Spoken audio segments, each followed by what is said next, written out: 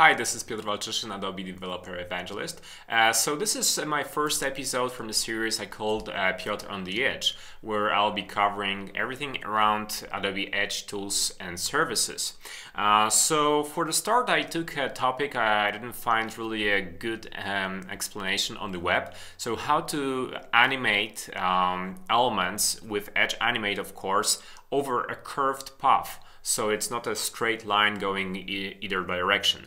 So let's take a look at this. Let's create a new project first.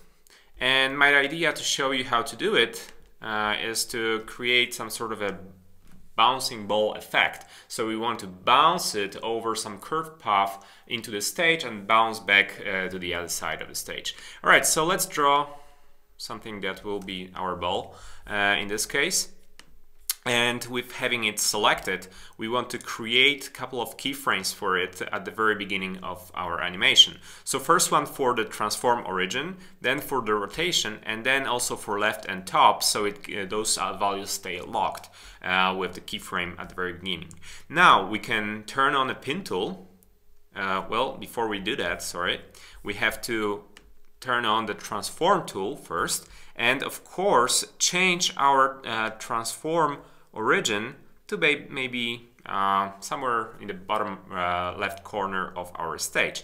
So now if we turn on the pin tool and we maybe select like one second of our animation, we can nicely, as you can see, now animate over a curved path. So we just animated that. If I play this, you can see this ball is not going straight line, it goes over curved path. Now, if I want to bounce back into the other direction then, uh, what I need to do, first of all, uh, let's turn off the pin tool and also turn off uh, auto keyframe and auto uh, transition mode and add a keyframe for left, top and also transform origin. So if I have it all set, I can modify my transform origin to be, let's say, on the right bottom corner. And now I can turn back on the pin tool, select another second of my animation, and of course, animate it out of, oops, sorry, animate that out of the stage. There you go. So if we play the whole thing from the beginning, you can see the ball nicely jumps into the stage and jumps back out of it.